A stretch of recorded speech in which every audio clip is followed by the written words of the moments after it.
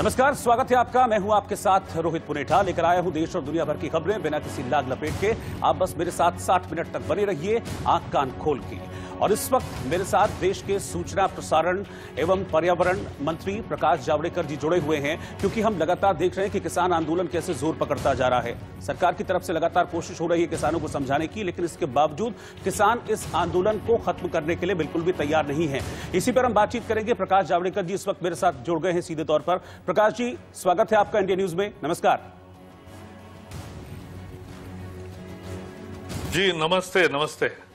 प्रकाश जी, सबसे पहले तो मैं ये चाहूँगा कि आप देश को सबसे पहले ये समझाएँ। हम देख रहे हैं कि किसान आंदोलन 16 दिन हो गए हैं किसानों को आंदोलन करते हुए। तमाम कोशिशें सरकार की तरफ़ से हुई हैं, लेकिन अभी तक कोई भी एक प्रभावी रिज़ल्ट निकलकर सामने नहीं आया है। मैं चाहूँगा कि आप देश को ये समझाएँ कि जो कृषि कानून, जिसको ये कहकर लाया गया था कि किसानों के फ़ायदे का है, किसानों को दुगना फ़ायदा इससे होगा, उस पर किसान देश का इतना आक्रोशित क्यों है? पहले भारत बंद और अब चौदह तारीख को देश भर में धरने की बात कर रहे हैं किसान।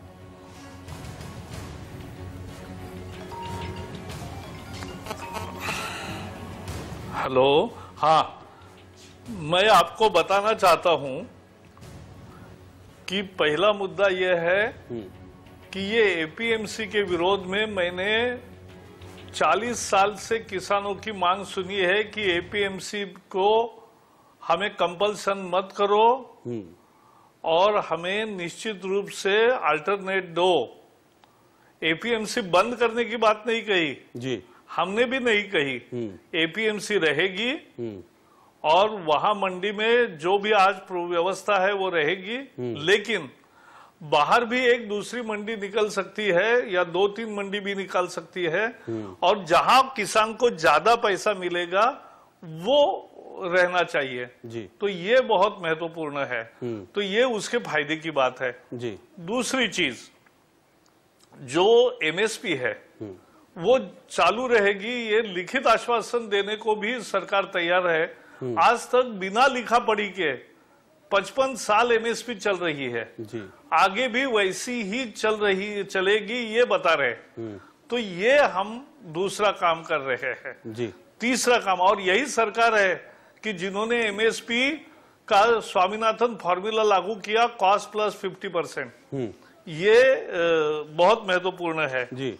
दूसरा बात है कि जब किसानों को लगा कि एपीएमसी के बाहर जो है उनको टैक्स नहीं पड़ेगा एपीएमसी में टैक्स पड़ता है तो वो करेक्ट नहीं होगा। तो हमने ये कहा है कि दोनों को समान न्याय होगा। जी।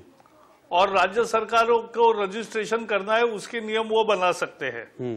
दूसरा है कॉन्ट्रैक्ट फ़ार्मिंग कॉन्ट्रैक्ट तो 1980 में अमरिंदर सिंह ने चालू किया। पेप्सिको के आलू लगाने के लिए लहर के लिए वो लेस के लिए वो शुरू किए। जी। तो ये ये पहले ही उन्होंने काम किया था। तो वहाँ कॉन्ट्रैक्ट कानून ऑलरेडी बन भी गया है। जी। हमने संरक्षण दिया है कि कॉन्ट्रैक्ट कानून के द्वारा हम किसान को संरक्षित करते हैं कि किसी भी तरह से भूमि का सौदा नहीं होगा केवल भूमि पर खड़े फैसल का होगा बाकी कुछ नहीं होगा और इसमें से कभी भी किसान बाहर आ सकता है ये भी हमने कहा है। जी। तो ये मुझे आश्चर्य होता है कि 2007 में यूपीए ने और कांग्रेस की राज सरकार थी और शरद पवार कृषि मंत्री थे और उन्होंने तब एपीएमसी की अलग व्यवस्था करने के लिए मॉडल एक्ट बनाया ऐसा ही और वो सभी राज्यों को फॉलो किया। सभी राज्यों में से दस राज्यों ने वो कानून स्वीकार भी किया। जी। तो अब कैसे मना करते हो? और कॉन्ट्रैक्ट एक्ट भी पंद्रह राज्यों में आज लागू है जहाँ सारे कांग्रेस के ही मुख्यमंत्री थे। तो कॉन्ट्रैक्ट एक्ट है आज नया किया तो उसके खिलाफ कैसे बोलते? एपीएमसी का व्यवस्था पहले ही मॉडल कानून किया था उसके खिलाफ आप कैसे बोलते? और इसेंशियल कमोडिटीज एक्ट तो सबकी मांग थी कि इसेंशियल कमोडिटीज एक्ट रद्द करो किसान का गला घोटने वाला ये कानून है। अब हमने मुक्त किया। राहुल गांधी ने खुद प्रेस कॉन्फ्रेंस में कहा था कि हम आलू वगैरह बाहर करेंगे और अभी मैं एक चैनल पे सुन रहा था मोहन प्रकाश कांग्रेस के नेता कह रहे थे कि ये तो आलू वगैरह सब बाहर की आ रही यही तो राहुल गांधी ने आश्वासन दिया था। जावड़ेकर जी मैं एक चीज़ आपसे समझना चाहूँगा। देखिए एमएसपी तो ऐसा है नहीं कि अब तो की है। एमएसपी एमएसपी तो बहुत पुरानी है। 1965 से एमएसपी चली आ रही है। और यानी कि 55 साल हो गए हैं। अब तक ऐसी कोई मांग किसी भी किसान की तरफ़ से नहीं की गई कि आप एमएसपी को लिखित में दीजिए। एमएसपी की गारंटी को लेकर कानून लाइए। अब आप ये नया कृषि कानून लेकर आए हैं। इसके पीछे आप क्या वजह देखते हैं कि अचानक से ये नया कानून आया और इसके साथ ही एमएसपी की मांग इतनी ज़ोर पकड़ गई कि उसको लिखित में दीजिए, उसको कानून में गारंटी दीजिए, उसके प्रोक्योरमेंट की हमको गारंटी दीजिए कि किसान सड़क पर उतर गए और 16 दिन से धरने पर बैठे हुए। अचानक से इस कानून के आने के बाद क्यों एमएसपी की मांग इतनी ज़ोर पकड़ रही है? नहीं मैं ऐसा मानता हूँ कि ये गलत फहमी मूलतः पंजाब के किसानों में ही है। एक्चुअली पंजाब के किसानों ने इस साल पिछले साल से ज़्यादा धान एपीएमसी में बेचा है। सरकार ने खरीद किया है। पिछले साल से ज़्यादा एमएसपी उनको मिली है। चौतीस हज़ार करोड़ रुपए आज किसानों को पंजाब में मिले हैं। ये केवल और केवल ये इसी कारण मिले हैं कि एमएसपी जीवित है। तो ये जानबूझ के भ्रम फैला गया कि एमएसपी खत्म होगी एपीएमसी खत्म होगी तो आपकी धान खरीद खत्म होगी। तो तीनों कानून बनने के बाद भी चल रहा है जो हाथ में अच्छे सोने का कंगन पहनोगे तो कंगन के लिए आईने की ज़रूरत नहीं होती। तो तो ये हमें समझना चाहिए कि निश्चित रूप से ये एक प्रोग्रेसिव कानून किया है और उसको हमें आगे बढ़ाना चाहिए, ये मेरा आग्रह है। प्रकाश जी, अभी आपने एक शब्द का इस्तेमाल किया, भ्रम।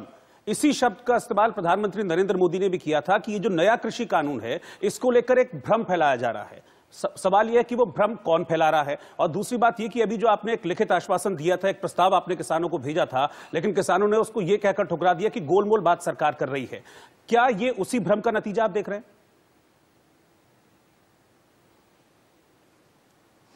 ये मूल कहाँ आंदोलन हो रहा है क्या केरल में आंदोलन हो रहा है तमिलनाडु में आंदोलन हो रहा है आंध्र में हो रहा है तेलंगाना में हो रहा है महाराष्ट्र में हो रहा है गुजरात में हो रहा है मध्य प्रदेश में हो रहा है छत्तीसगढ़ में हो रहा है बिहार में हो रहा है उड़ीसा में हो रहा है कहीं भी नहीं हो रहा है उत्तर प्रदेश में हो रहा है राजस्थान में हो रहा है नहीं हो रहा है केवल पंजाब में हो रहा है और पंजाब में जो हो रहा है वो तीनों राजनीतिक दल वहाँ उसी भ्रम को पालने में लगे हैं। उसमें अकाली दल भी है आम आदमी पार्टी भी है और मूल सत्तारूढ़ कांग्रेस दल भी है। जी। तो पंजाब में ही आंदोलन है। हम्म। अच्छा एक चीज़ और है प्रकाश जी जैसे जैसे आंदोलन बढ़ता जा रहा है किसानों का वैसे वैसे इसमें बहुत नई चीज़ें हो रही हैं। मैं अगर, आज की अगर बात करूँ तो जो टीकरी बॉर्डर पर किसान बैठे हुए हैं धरने पर, आंदोलन जो किसान कर रहे हैं उनके हाथों में आज शर्जिल इमाम के पोस्टर नज़र आए। उनके हाथों में उमर खालिद के आज पोस्टर नज़र आए। और ये तस्वीरें देखकर वाकई में मतलब मैं बहुत हैरान रह गया कि कहाँ किसान आंदोलन और कहाँ ये लोग जिनका किसानों से दूर दूर तक का वास्ता नहीं है वामपंथी नेताओं के पोस्टर भी वहाँ पर लहराए जा रहे थे। क्या आपको लगता है कि ये आंदोलन अब एक एक गलत दिशा पकड़ता जा रहा है या फिर इसको हाईजैक करने की कोशिश हो रही है? बिल्कुल हाईजैक करने की कोशिश हो रही है। किसानों का आंदोलन अब किसानों का नहीं रहा है। वो अब शर्जिल इमाम और उनको गिरफ़्तार क्यों किया है? और पुलिस ने भी बेल क्यों नहीं दिया है? क्योंकि उन पर चार्जशीट जो है उसमें दम है। और इसीलिए उनको छोड़ो ये मांग किसान के आंदोलन का हिस्सा कैसे हो सकती है? लेकिन ये केवल हुआ नहीं मैंने दो दिन पहले लंदन के न्यूयॉर्क के कनाडा के ऑस्ट्रेलिया के प्रदर्शन देखे। वहाँ खालिस्तान जिंदाबाद के नारे लगे खालिस्तान के झंडे फहराए गए खालिस्तान के पूरा जो उनके लीडर्स है उनके फ़ोटो लहराए गए। तो ये जो सब हो रहा है इसका मतलब है कि निश्चित रूप से इस आंदोलन का फ़ायदा उठाकर फिर से एक शाहीन बाग का माहौल तैयार करने की ये कोशिश है और उसका देश में एक आ, आ, ये देश में एक बड़ा प्रॉब्लम तैयार करे ये उनका उद्देश्य है। लेकिन फिर सवाल ये उठता है कि इस तरह की चीज़ों के पीछे कौन लोग हैं और क्या सरकार की उन पर बराबर नज़र है? अगर किसानों का आंदोलन है कोई इसको हाईजैक करने की कोशिश कर रहा है और इतनी गलत दिशा दे रहा है आ, कि उन लोगों को सपोर्ट कर रहे हैं शर्जिल इमाम पर यह आरोप है कि असम को आ, देश से अलग करने की कोशिश वाले बयान देता है। और आ, उमर खालिद पर टुकड़े टुकड़े गैंड देशद्रोह का आरोप है। तो ऐसे शख्सों के तस्वीरें अगर इस तरह के आंदोलन में लहराई जाएँगी तो सरकार के लिए बड़ी चिंता की बात होनी चाहिए। नहीं लेकिन चिंता की बात है ये किसानों के लिए भी चिंता की बात है कि उनका आंदोलन तो भटक गया। तो किसानों को चाहिए कि अब घर वापस जाए आंदोलन सड़क पर जो चल रहा है वो समाप्त करे। और जो 40 लोग उन्होंने प्रतिनिधि के रूप में चुने हैं उनको चर्चा करने के लिए और भेजे। कृषि मंत्री ने निमंत्रण दिया है कि चर्चा और भी करने को हम तैयार है। और जो सारे संशोधन है वो कैसे होंगे वो भी बताए जाएँगे। तो बात किस पॉइंट पर अटक रही है? क्योंकि हम तो देख रहे हैं कि ऐसा नहीं कि सरकार की ओर से प्रयास नहीं हो रहे। एक बार नहीं पाँच पाँच बार सरकार की ओर से प्रयास किए गए। किसान नेताओं से नरेंद्र सिंह तोमर मिले। खुद प्रधानमंत्री नरेंद्र मोदी ने भी मंत्रियों की बैठक ली। प्रस्ताव आपकी तरफ़ से भेजा गया। बात कहाँ पर अटक रही है? मैं तो जो पंजाब के सर्वसामान्य किसान आए हैं उनको आह्वान करना चाहता हूँ कि भाई आप देखिए आपके आंदोलन को भटकाने की कोई कोशिश कर रहा है उससे बचिए। और आपकी मांगे मूल जो थी भ्रम एक जो पैदा किया था कि एमएसपी जाएगी एपीएमसी जाएगी वो नहीं जा रही है और जो रिपेयर करना चाहिए जो संशोधन करने चाहिए वो सरकार ने मान्य किए हैं तो उसको आगे लेकर जाएँगे। आप पराली का मुद्दा भी आगे आ सकता है उसका भी सॉल्यूशन निकालेंगे। तो चिंता ना करें लेकिन एक अभी यह आंदोलन खत्म करने का समय है। किसी को कोरोना न हो और ठंड में किसी को दुर्घटना न हो ये देखने की ज़रूरत है। प्रकाश जी आपने एमएसपी पर यहाँ पर इंडिया न्यूज़ के माध्यम से किसानों को भ्रम दूर करने का प्रयास किया एपीएमसी पर आपने भ्रम दूर करने का प्रयास किया लेकिन एक और किसानों की चिंता का विषय है वो है कॉन्ट्रैक्ट फ़ार्मिंग किसानों को ये डर है या आशंका है या फिर उनके अंदर ये भी भ्रम फैलाया गया है कि अगर कॉन्ट्रैक्ट फ़ार्मिंग होगी तो भाई आपकी ज़मीन चली जाएगी जो जो इंडस्ट्रियलिस्ट है वो आपकी ज़मीन पर स्ट्रक्चर खड़ा कर लेगा आपकी ज़मीन कब्जा लेगा। मैं चाहता हूँ कि इंडिया न्यूज़ के माध्यम से आप ये भ्रम दूर करें किसानों का नहीं ये तो बिल्कुल साफ़ है कॉन्ट्रैक्ट एक्ट ही बना है किसान के संरक्षण के लिए। और कॉन्ट्रैक्ट एक्ट में स्पष्ट लिखा है कि सौदा केवल और केवल खड़े फ़सल का होगा ज़मीन का नहीं होगा और इवन फ़सल के सौदे से भी किसान कभी भी बाहर आ सकता है। अगर उसको ज़्यादा दाम दूसरा कोई दे रहा है तो। लेकिन हमें समझना चाहिए, गंभीर बात क्या है? हमारे देश के कृषि की उत्पादकता दुनिया से आधी है। और ये उत्पादकता बढ़ाना ही किसान के समृद्धि का मार्ग प्रशस्त करता है। जी। ये उत्पादक बढ़ाने के लिए निवेश चाहिए तकनीक चाहिए नए खाद और नए बीज चाहिए। ये करने के लिए कोई पैसा डालने को अगर तैयार है और कॉन्ट्रैक्ट फ़ार्मिंग करना चाहता है तो किसान का कोई भी अधिकार नहीं जाएगा। लेकिन एक नए सिरे से खेती होगी और किसान को डबल आय मिलेगी। ये तुरंत शुरू होगा। तो ये क्यों बुरा बात है? और उसकी भूमिका कभी सौदा नहीं होगा। हम्म। और और ए, एक चीज़ और है प्रकाश जी यही इसी क्लॉज से लेकर जो नेक्स्ट क्लॉज है उसको लेकर भी मिसगाइड किया जा रहा है कि ज़मीन आपकी हत्या लेंगे उसके बाद आप एसडीएम से ऊपर कहीं नहीं जा पाओगे कोर्ट में आप आगे नहीं जा पाओगे। ये भी एक तरह से भ्रम फैलाने की कोशिश की जा रही है। इसको भी थोड़ा सा दूर कीजिए आप।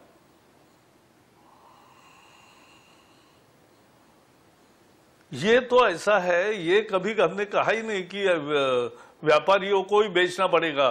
ये तो एपीएमसी में भी आरटीआई होते हैं व्यापारी होते हैं। लेकिन 30-40 जिनको लाइसेंस मिलता है वो ही अ, उनके पास ही देना पड़ता है।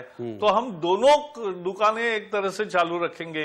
एपीएमसी भी चालू रहेगी और बाहर का भी दुकान किसी का है तो चालू रहेगा। जहाँ किसान को फ़ायदे का सौदा नज़र आएगा वही वो बेचेंगे। अपने घर से भी बेच सकेंगे। आज सामान उठाकर एपीएमसी में लाना पड़ता है।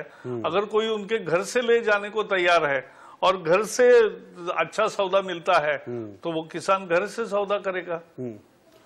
लेकिन प्रकाश जी अब तक जो बात समझ में आ रही है किसानों ने हर बार सरकार के प्रस्ताव को वापस लौटा दिया। हर बार जो मीटिंग है वो बेनतीजा नज़र आ रही है अब तक। तो किसान सिर्फ़ एक बात पर अड़े कि भाई आपको ये बिल वापस लेने पड़ेंगे और यस या नो की बात आ गई है। आपको लग रहा है कि यस या नो इस समस्या का समाधान हो सकता है क्योंकि किसान धमकी दे रहे हैं कि सरकार यस या नो अगर नहीं करती है तो फिर हम रेलवे ट्रैक बाधित करेंगे और इस बार रेलवे ट्रैक दिल्ली एनसीआर और सिर्फ़ पंजाब के नहीं होंगे पूरे देश के होंगे। क्या यस या नो इस समस्या का समाधान हो सकता है? ऐसा है पहले तो पंजाब में रेलवे ट्रैक बंद किए थे। किसानों को ही खाद और बाकी चीज़ों की आपूर्ति करने की ज़रूरत जब पड़ी तो शुरू हुए और पंजाब के रेल शुरू हुए। इतना आसान भी नहीं होता है। और दूसरी बात समझनी चाहिए कि किसान आंदोलन को कोई हवा तो दे रहा है। कोई जानबूझ के उनका समाधान होने के बावजूद भी उसको खींचना चाहता है। वो कौन है? उनके रूप भी सामने आएँगे चेहरे भी सामने आएँगे। और ये किसान के शत्रु होंगे किसान के मित्र नहीं हो सकते। आ, सर मैं इससे पहले कि मैं बंगाल चुनाव पर चलूँ मैं आपसे चाहूँगा कि ये आप मुझे बताएँ कि किस तरीके से इस समस्या का समाधान आप लोग करेंगे? क्योंकि 16 दिन हो गए हैं किसान बैठे हुए हैं, वो कह रहे हैं हम राशन पानी सब लेकर आए हैं, हम सड़क पर बैठे हैं, जब तक तीन, ये कानून वापस नहीं लेती सरकार, हम हटने वाले नहीं हैं। और अब तो ये भी खबरें मिल रही हैं कि और भी किसान भर भर कर दिल्ली की तरफ़ आ रहे हैं, दिल्ली की रोड जाम करने की बात कर रहे हैं, दिल्ली जयपुर हाईवे, दिल्ली आगरा हाईवे, सब हाईवे जाम करने की बात कर रहे हैं। तो अब क्या सरकार की स्ट्रेटजी है? क्या प्लान ऑफ़ एक्शन सरकार का आगे रहेगा? क्योंकि अगर ये बढ़ता है तो फिर ज़ाहिर तौर पर दिक्कतें बढ़ने वाली हैं।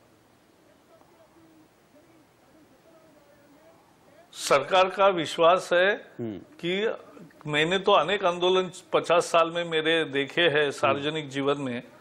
तो उसमें मैंने ये देखा है कि किसी न किसी रूप से चर्चा से ही समस्या हल होती है। हुदड़ंग करने से नहीं होती है। और इसलिए अगर हुदड़ंग का बात आती है तो निश्चित रूप से कानून व्यवस्था कैसे मेंटेन करना है ये सरकार जानती है। लेकिन उससे ज़्यादा महत्वपूर्ण है संवाद।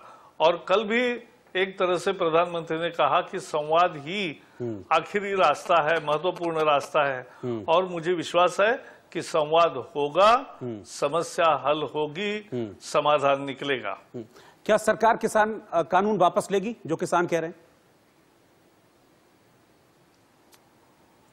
नहीं लाने वापस लेने का सवाल ही नहीं है। जब उसमें अगर जो आशंका है उसका अगर समाधान होता है तो वापस लेने का कहा सवाल आता है?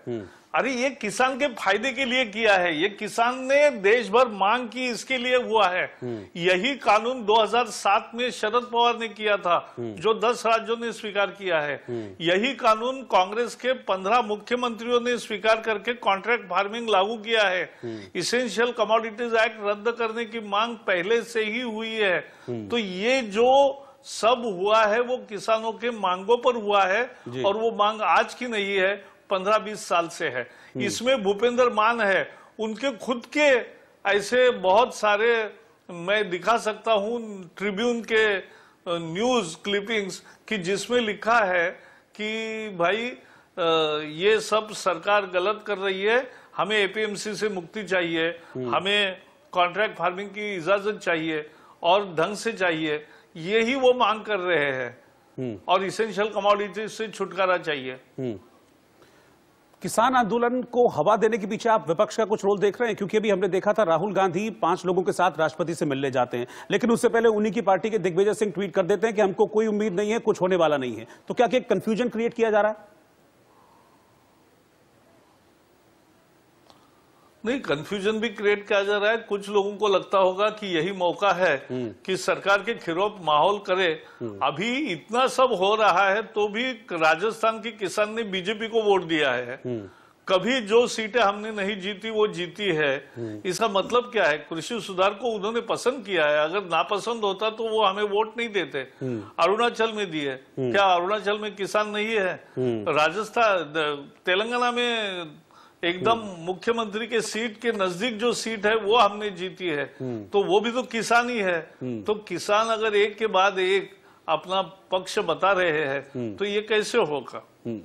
ठीक है सर मैं अब बंगाल चुनाव पर आता हूँ। मुझे लगता है कि आपने जो बातें कही हैं काफ़ी हद तक जो किसानों की शंकाओं का समाधान है आपने पॉइंट टू पॉइंट किया है। मैं बंगाल चुनाव पर आता हूँ। सर बंगाल में अभी हम देख रहे हैं कि जो स्थिति है वो वो बहुत खराब स्थिति एक तरह से नज़र आ रही है। चुनावी हिंसा देखने को मिल रही है। बीजेपी लगातार इस बात के आरोप भी लगाती रही है कि कई बीजेपी कार्यकर्ता करीब सवा सौ बीजेपी कार्यकर्ता हैं जिनकी हत्या कर दी गई और टीएमसी पर सीधा आरोप लगता है। लेकिन इस बार तो निशाना सीधा बीजेपी अध्यक्ष जेपी नड्डा महामंत्री कैलाश विजयवर्गीय ये हो क्या रहा बंगाल में?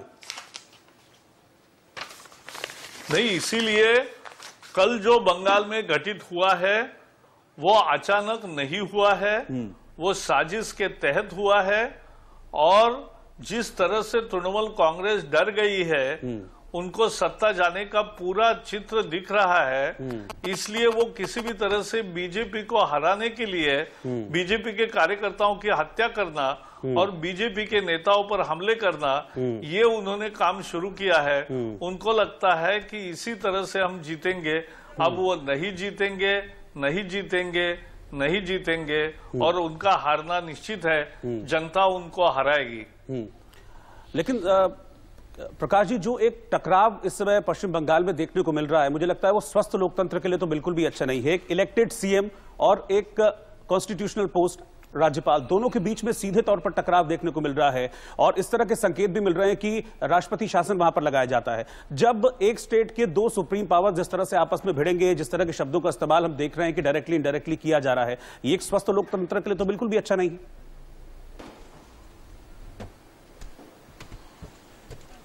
नहीं, इसलिए ये कॉन्स्टिट्यूशनल क्राइसिस ना हो, यही तो हमारी इच्छा है। और इसलिए जो जिस तरह से ममता की भाषा है, नड्डा, फड्डा, चड्डा, ये क्या भाषा है? कौन सी सिविलिटी है?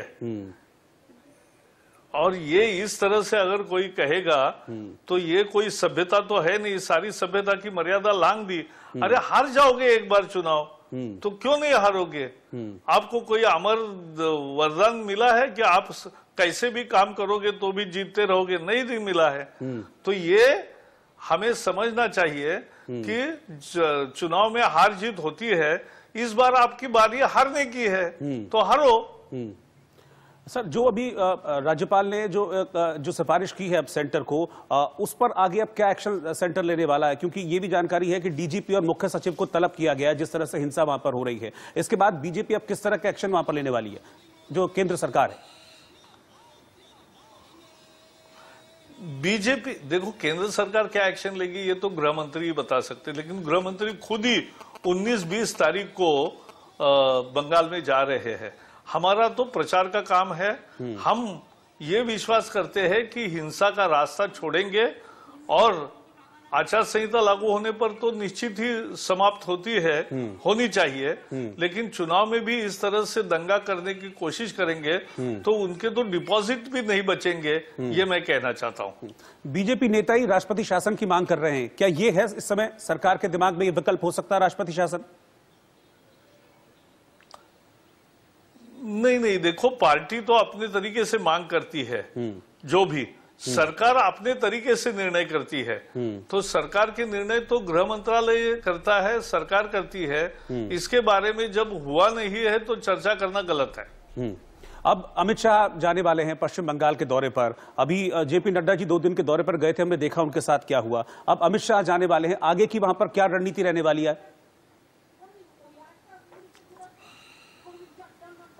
नहीं हम तो प्रचार करेंगे देश भर के हमारे कार्यकर्ता जाते वो कहते बाहर के क्यों आ रहे हैं? हम्म। अरे पूरा बंगाल उड़ गया है। हाँ मैं मैं मैं इसमें थोड़ा सा ऐड करता हूँ प्रकाश जी वो ममता बनर्जी सिर्फ़ ये नहीं कहती बाहर के।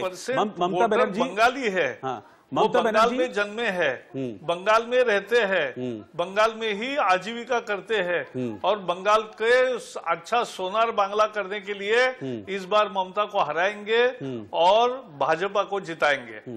ममता बनर्जी सिर्फ़ ये नहीं कहती है कि बाहर के हैं। ममता बनर्जी ने जो टर्म यूज़ की है कि ये बाहर के गुंडे हैं इनको मत घुसने दो। आपको क्या लगता है कि ये ये ज़मीन खिसकती हुई दिख रही है? इस तरह से इस तरह की इसलिए इस तरह की चीज़ें हो रही हैं? बिल्कुल। ज़मीन खिसकने लगी है ये उनको भी एहसास हो गया है। हम्म। और सबसे महत्वपूर्ण बात है हम्म। कि ये अब समझ नहीं रहे कि क्या करे। लेकिन वो हिंसा के रास्ते के सिवा दूसरा कुछ सोच नहीं सकते। हमें उनको समझना चाहिए बीजेपी की इमेज और काम। ऐसा नहीं है कि हिंसा के रास्ते पर जाए। हम कोई कम्युनिस्ट या कम्युनिस्ट माले नहीं है। हम हिंसा के रास्ते नहीं जाते। हम तो शांति से ही कर्नाटक जीते हैं। हम शांति से ही हर राज्य जीते हैं। गुजरात में कभी हिंसा हुई बाकी कहाँ हिंसा हुई? जी। जो राज्य बिहार में अभी जीता बिहार में हिंसा हमारे तरफ़ से तो कुछ नहीं हुई। जी। और शांतिपूर्ण तरीके से हम जीतते हैं। अब बंगाल की बारी है।